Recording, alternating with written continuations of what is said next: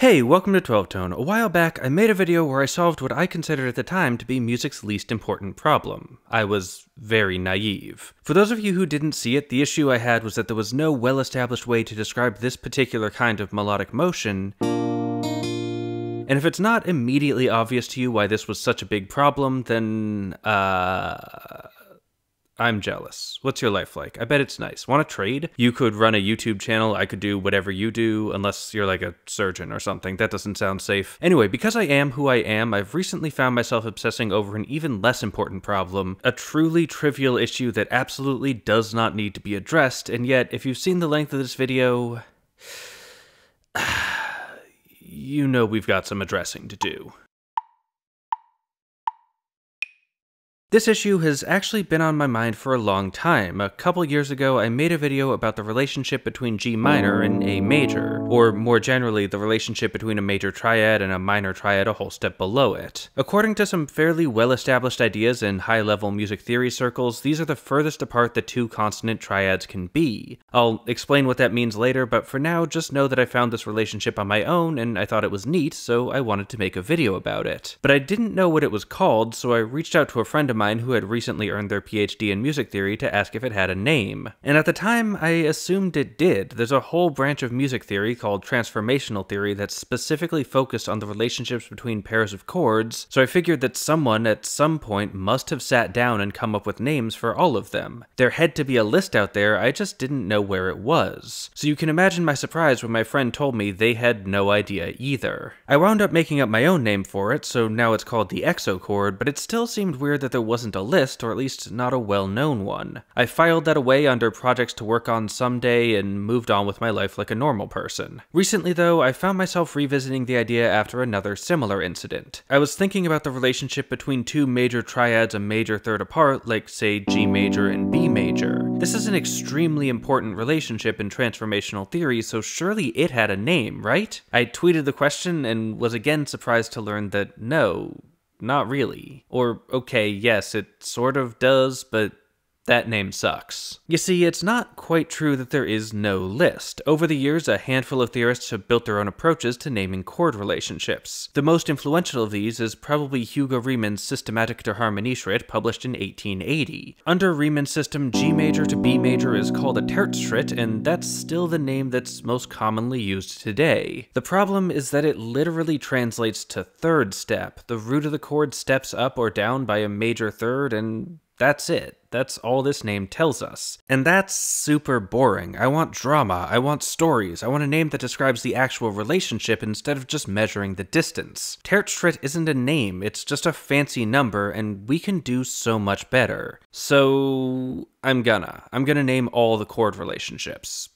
This might take a while. Before I get started, let's set some ground rules. First, I'm only going to be looking at consonant triads. No sevenths, nothing augmented, nothing suspended, just major and minor. This is partly for time, because this video is going to be long enough as is, but these are also just the most important chord qualities in most of the music I work with. You can probably expand these pretty easily to at least cover sevenths if you want, but I'll leave that as an exercise for the jazz folks. Second, I'm describing relationship, not motion, so I don't care which one comes first. G to D and D to G are the same thing and they'll have the same name. Third, I also don't care about keys. If we hear G and A minor, we could be in G major, or A minor, or even C. I don't care. I'm only interested in that fleeting moment that exists between the two individual chords. I'm doing this because we already have some pretty robust ways to describe chord motion within a key. One of the main appeals of things like transformational theory is that it lets you step outside that framework, and regular viewers will know how much I love ignoring keys anyway. And finally, if these names are going to describe relationships and behaviors, then I have to make some assumptions about what those relationships and behaviors are. That's going to be based on my experience, my observations, and my background, none of which are universal. I'll do my best to keep them grounded in standard theoretical practices and to justify my decisions when I don't, but if the names don't fit with how you're hearing or using the chords, feel free to invent your own. I'm not the god of music, I'm just a doofus with a YouTube channel. With that out of the way, let's start with an easy one the relationship between two different chords with the same root, like say G major and G minor. Oh, and side note, from here on out, I'm just going to be starting every example on G. It doesn't matter, the same relationships apply everywhere, but I've got to start somewhere. Anyway, G major to G minor is a parallel relationship. This is a pretty well established name at this point, and it works because the two chords evoke parallel scales. That is, scales with different notes but the same root. The G major chord implies the G major scale, and the G minor chord implies the G minor scale, both of which are G scales.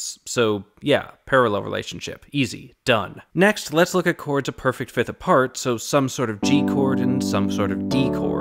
As a category, I'm going to call these dominant relationships. Dominant is the fancy music theory word for the 5 chord, and we can read these two chords as 1 and 5. I mean, we don't have to, again, keys don't matter, but even outside that framework, the perfect fifth is still a really strong interval, and it creates a powerful directional sound, which the name dominant captures pretty well. To me, there's two defining sounds in a dominant relationship. The first is, again, the perfect fifth motion in the bass. That's obvious. But the less obvious one is the half step motion between the third of one chord and some other note in the other. We can see this pretty clearly if we look at G major and D major, which I'll call the traditional dominant. This is your classic 5-1 resolution, and it's driven by the F sharp and the D chord sliding up to G. This can also go the other way as a 4-1 resolution, with the G dropping down to F sharp, but because the third of a chord is so much more colorful than the other two notes, these two resolutions sound pretty different. They're both strong, but they've got their own distinct characters. On the other hand, if we use G minor and D minor, that relationship flips upside down. This is the minor dominant, and here the resolution goes the other way. Instead of being 1 and 5, they fit more naturally as 4 and 1, with the B flat and G minor dropping down a half step to A. Same concept, different directions. Next is G minor and D major, which I'll call the negative dominant. These are the chords everyone was talking about during those couple minutes back in 2017 where Jacob Collier tricked us all into caring about negative harmony. And to be fair, they're pretty interesting. If the characteristic sound of dominant relationships is the third of one chord moving by half step to the other, the negative dominant lets us do that in both directions. We have F sharp to G and B flat to A, so we get maximum resolutions all the time. On the other hand, our final dominant relationship, G to D minor, is kinda left out in the cold. Here, there's no half steps at all, no F sharp, no B flat. I'm gonna call this the subverted dominant. There's still the strong fifth based root motion, so it still feels like a dominant, but the resolution has a blunt edge. It's a lovely sound though, giving that hard dominant motion a gentle, serene touch that speaks less of dramatic marches and more of relaxing pastoral scenes that move through time at their own pace. 10 out of 10 chord motion would listen to again. Next up, we have chords a third apart. We tend to call these mediants. If the strongest interval is between the root and the fifth, then the third sits halfway between them. It's in the middle, thus mediant. There's eight of these total, which I'll break up into three categories. First, we have the diatonic mediants. These are chords that share two notes in common, and they're weak because they're so similar that the second one mostly just sounds like a continuation of the first. Like, consider the traditional mediant G to B minor. When you move between them, the B and the D both sit perfectly still, and the G just moves a half step to F sharp. It's a very subtle sound, easy to miss if you're not paying attention. The traditional mediant isn't all that common, especially compared to our other diatonic option, the relative mediant. This is G to E minor, which is slightly bolder since it uses a whole step, but the reason we call it relative is because much like our parallel relationship evoked parallel scales, these two chords evoke relative scales. That is, they imply scales that have different roots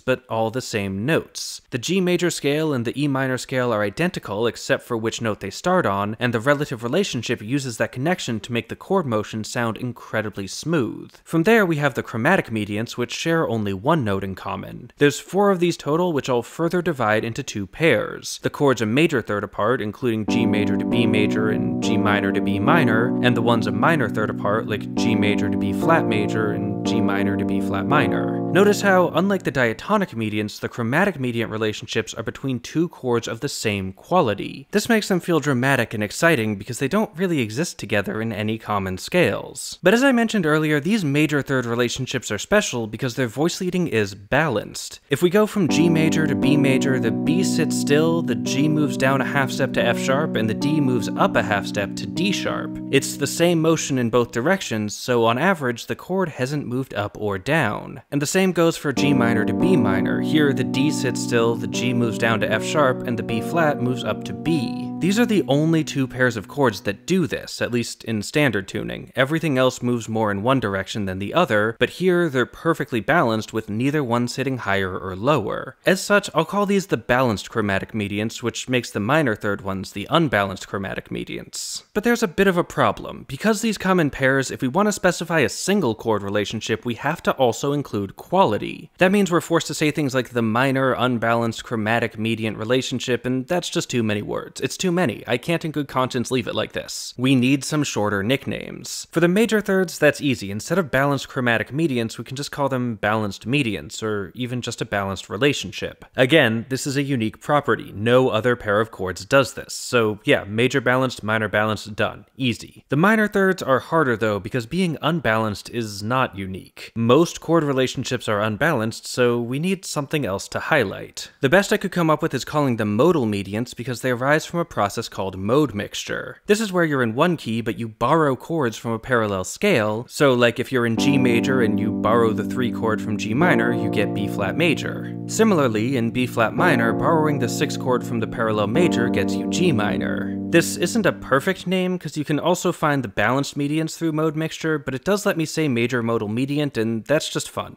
Sometimes we have fun. If you have other suggestions, though, feel free to let me know in the comments. I'm not entirely happy with this one. And finally, there's the double chromatic mediants, which share no notes in common. The first of these is G major to E flat minor, which theorists call the hexatonic pole because it's the furthest point away in a hexatonic cycle, which yeah, I should probably explain that. Basically, we're gonna start with G major and then try to get to different chords by only moving one note by one half step. If we move B to B flat, we get G minor. If we instead move the G to F sharp, we get B minor. You might recognize these as the parallel and traditional mediant relationships, and they're the only two chords we can reach like this. But let's keep going. If we take G minor, obviously we can go back to G major, but we could also take the D up a half step to E flat, giving us E flat major.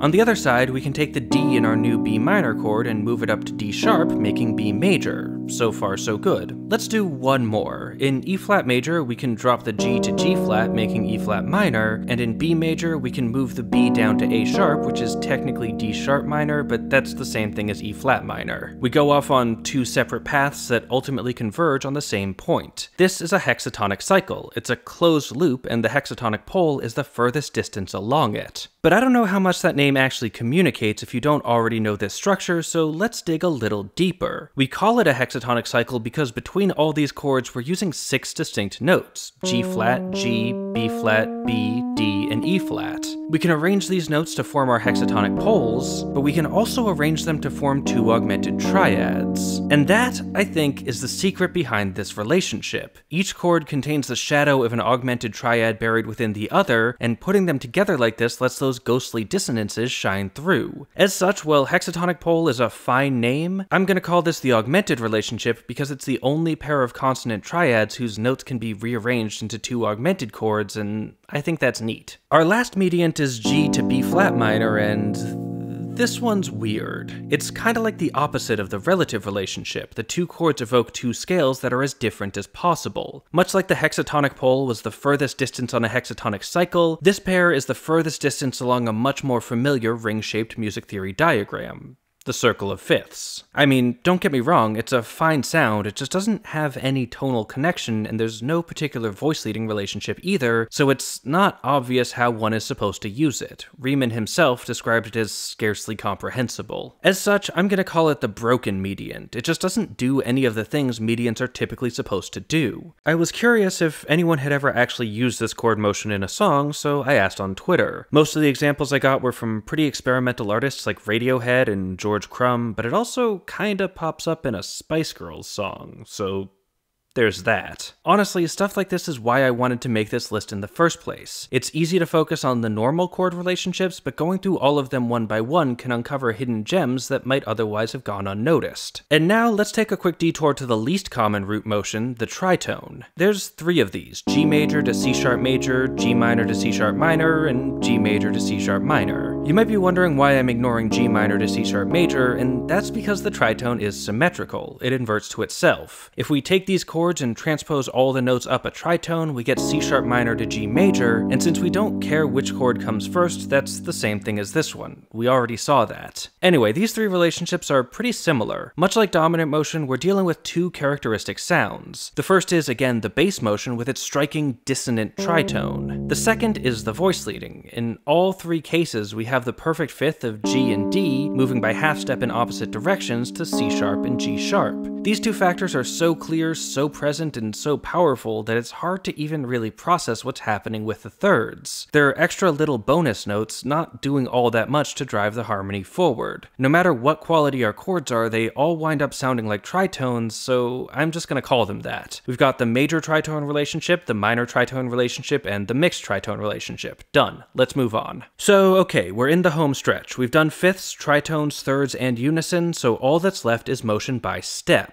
Again, there's eight of these, which I'll break up into three categories. The first and most numerous of these are the diatonic steps. Here, I'll use a slightly more technical definition of diatonic. These are steps that appear somewhere in the major scale. In these cases, I'm going to name them based on the mode they most strongly imply. A mode is just a scale that uses all the same notes as major but with a different root. If you remember the relative major and minor from earlier, those were modes. Each note of the major scale starts its own mode, and each mode has a name. As such, G major to A minor is the major step, G major to A major is the Lydian step, G minor to A minor is the Dorian step, and G minor to A flat major is the Phrygian step. Now, those of you familiar with modes might be wondering a couple things. First, why did I call it the major step when in modal contexts that scale is usually called Ionian? And the answer is, I did it because I don't care. It's my list, I can do whatever I want. More seriously, Honestly, though, I tend to find the distinction between Major and Ionian more confusing than it is helpful. Like, Lydian is useful because we don't already have a pre existing name for that scale, but by the time you get to modes, most music students already know about Major, except now sometimes you have to call it Ionian, but it's the same notes as Major, so why? I mean, I get why, I know the historical context and I don't mind teaching it, but for practical purposes, I just think it's easier to call it major. And again,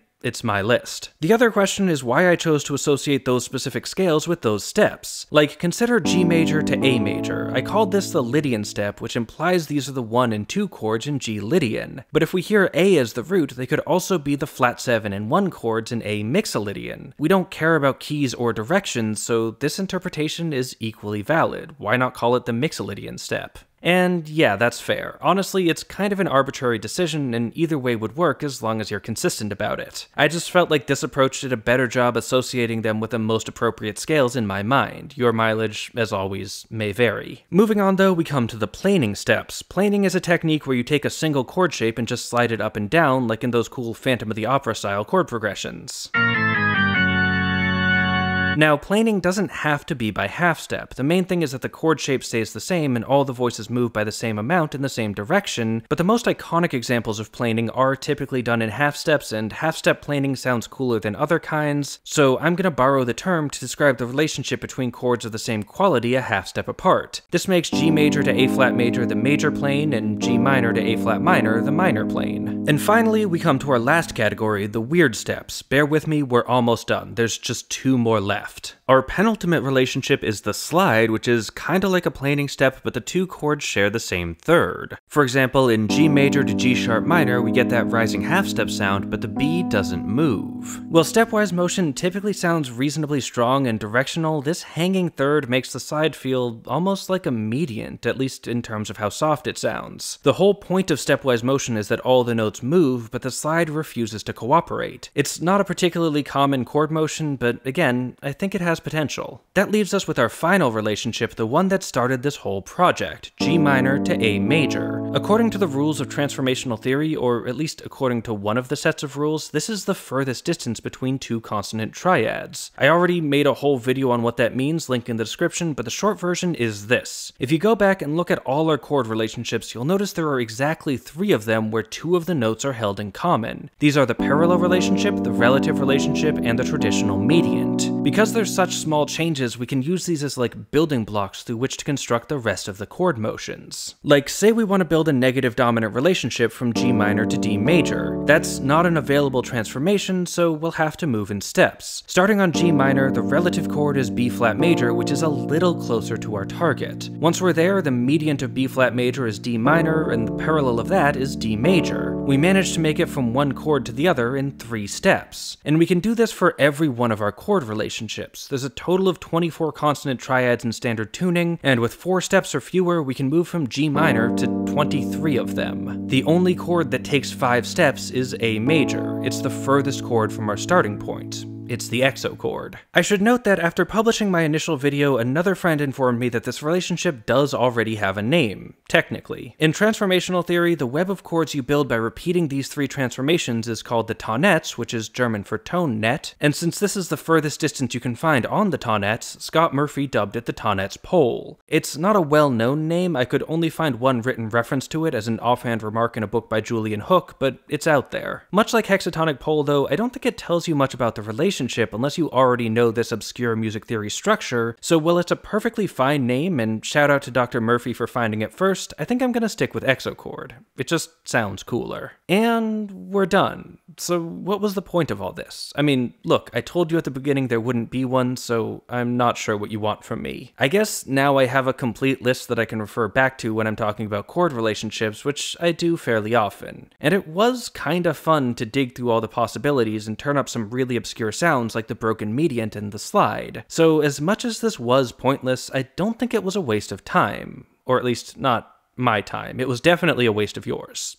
Sorry. And hey, thanks for watching. Thanks to our Patreon patrons for making these videos possible. And extra special thanks to our featured patrons Susan Jones, Jill Suntgard, Duck, Howard Levine, Warren Huart, Kevin Wilamowski, and Grant Aldonas. If you want to help out and help us pick the next song we analyze too, there's a link to our Patreon on screen now. Oh, and don't forget to like, share, comment, subscribe, and above all, keep on rockin'.